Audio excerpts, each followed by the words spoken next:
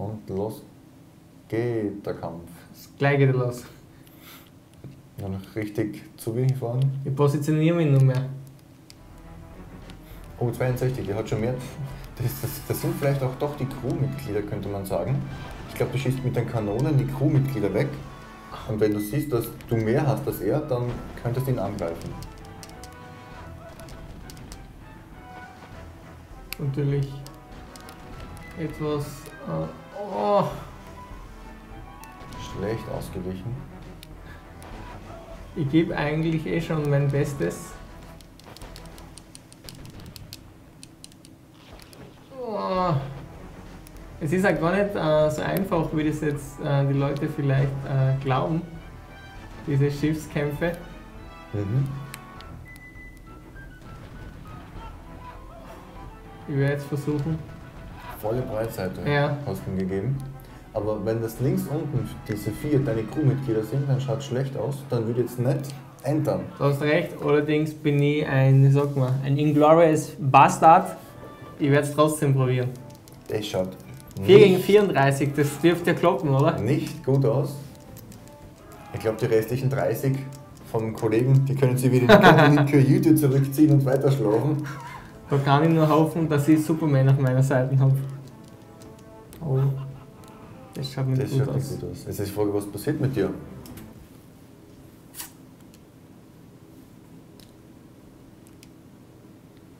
Ah, die, die haben dich ins Wasser geschmissen und deine Crew hat dich gerettet. Ja, der Vorteil war, ich habe noch ein zweites Schiff jetzt gehabt, weil ich das ähm, also übernommen habe vorhin. Mhm. Und das war jetzt mein Glück. Ja, Glück gehabt. Bist mit dem großen Schiff. Willst du das mit dem großen Schiff nochmal probieren? Moment, jetzt haben wir ja kurz auf die Steuerung gewechselt. Da kann man eben äh, sich ansehen, wie man sieht, gibt es jetzt nicht sonderlich viele äh, Optionen. Mhm. Wir werden einmal sehen, ob wir vielleicht an Land was finden. Schaut leider wieder schlecht aus. Ja, klingt interessant.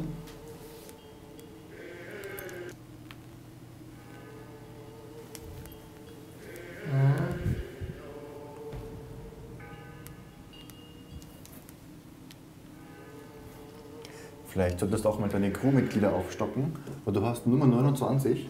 Da hast du natürlich recht. Wenn wir mal wieder in die Taverne schauen, oder? In einer kleineren Stadt, ja. Aber da gibt es sicher auch Leute, die Arbeit suchen. Ja, da stehen sie schon. Genau. Die gibt es scheinbar überall. Ja. Die schauen ein bisschen tuntig aus. Allerdings, sie wollen sich mir anschließen. Natürlich, du musst sie auch bezahlen. Du gibst ihnen was zum Essen. Also Und Gold von den Plündereien. die, wie hat es geheißen? Die Fracht, die sie gestohlen haben, da, gibt's ein, da gab es einen eigenen Namen dafür. Bei den Piraten. Aha, sagt mir jetzt nichts. Heute? oder Und Beute! Nein, nicht Beute. Da gab es einen eigenen, Beute! einen eigenen Ausdruck dafür. Auf jeden Fall, was ich vorher noch sagen wollte, als du mit dem Schiff gekämpft hast, damals war es sehr viel wert, einen intelligenten Kanonenschützen zu haben, Aha. der möglichst schnell das gegnerische Schiff anvisieren konnte. Da gab es wirklich, ähm, da haben, die haben wirklich mit Dreiecken, könnte man sagen, gearbeitet und ein bisschen Mathematik war auch schon dabei, damit man möglichst schnell das gegnerische Schiff anvisieren konnte. Denn wie du, wie du dir denkst, das erste Schiff, das die Kugel kassiert, hat schon mal einen Nachteil. Klar. Und wenn gleich fünf oder sechs Kugeln drauf liegen, dann haben sie einen großen Nachteil. Deswegen war es damals sehr wichtig, einen intelligenten Kanonenfritzen zu haben. Ich werde jetzt einmal ein bisschen Essen für die Crew Ja. besorgen.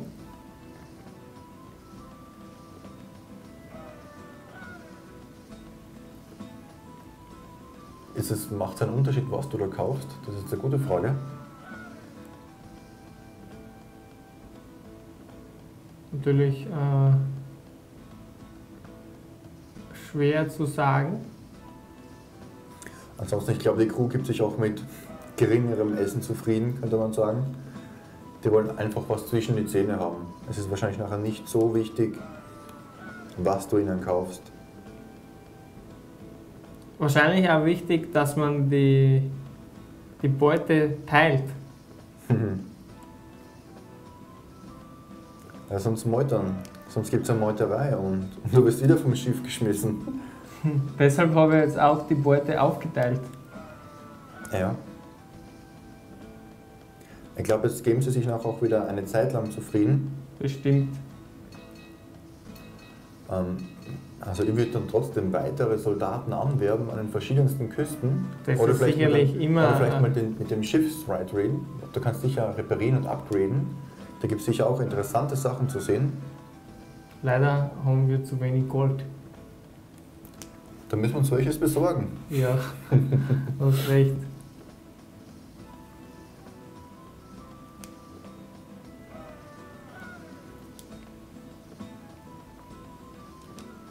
Wie man sieht, hat man die verschiedensten Optionen zur Verfügung. Leider kostet alles Gold.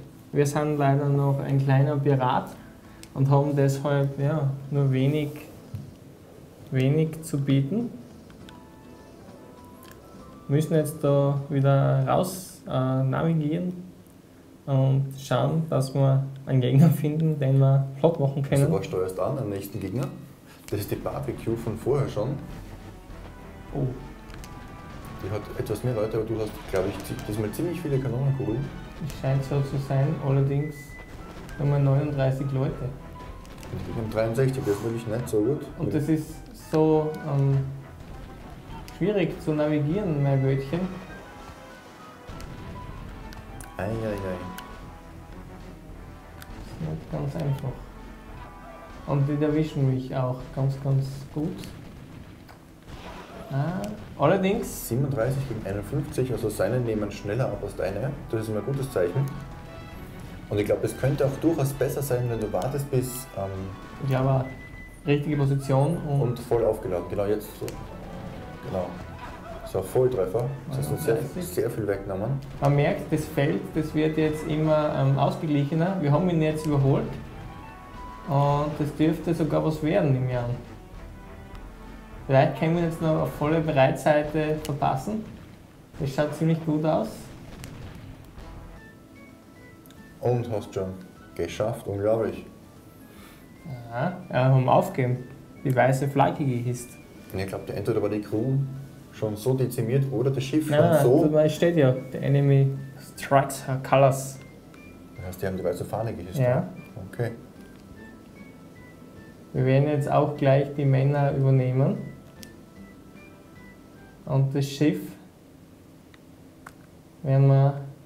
Ja, das hilft ja nichts, weil wenn wir zu wenig Leute haben, müssten wir die Crew wieder aufteilen und wir wollen ja möglichst große, große Crew. Aber du hast doch 120 ähm, Plätze frei für mit Crew-Mitarbeiter. Stand das nicht dabei? Dass das Schiff 120 Leute fassen kann? Ja, kannst eh. Nur das Problem ist, wenn du jetzt, ich wollte das Schiff auch noch behalten. Das ist aber keine gute Okay. Idee, weil Nein, wir zu wenig Crew haben. Ich werde jetzt die ganze, versenken. genau, das ganze Essen äh, aufnehmen. Das ist jetzt in dem Fall ja Food, also Essen und Zucker. Ja. Und damit können wir bestimmt wieder durchhalten, längere Zeit.